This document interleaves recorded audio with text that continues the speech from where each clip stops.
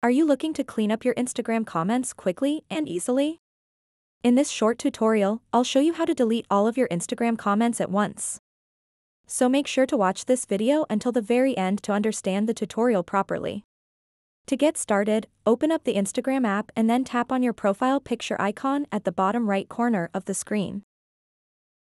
After that, tap on these three horizontal lines at the top right corner of the screen and then tap where it says your activity. Once you are on this page, tap where it says Interactions.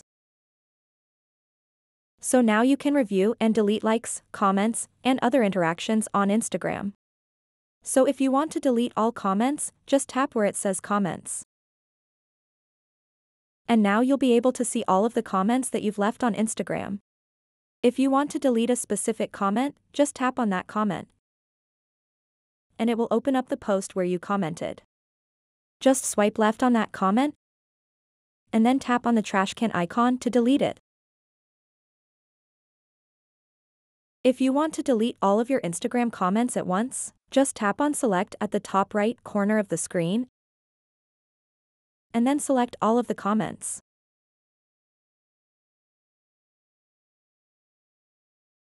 After that, simply tap delete at the bottom center of the screen. And then tap delete one more time to confirm it. And now you've successfully deleted all of the comments you left on Instagram. So that wraps up this tutorial. If you have any questions about this whole process, please let me know in the comments section below. And if this video helped you out, please give it a big thumbs up and subscribe to this channel for more tutorial videos like this one. Thank you so much for watching and have a good day.